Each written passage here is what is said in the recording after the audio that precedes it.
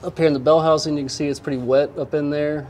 It appears that it's the uh, front seal or input shaft on the, uh, or not a seal, uh, but the input shaft cover on the front of the transmission here looks like it's leaking because up forward here on the on towards the engine it looks like that's dry. So I, I don't think it's a rear main seal. It's most likely the trans, front of the transmission leaking. But this transmission may have to come out and uh, we'll put an input shaft kit in it to reseal that.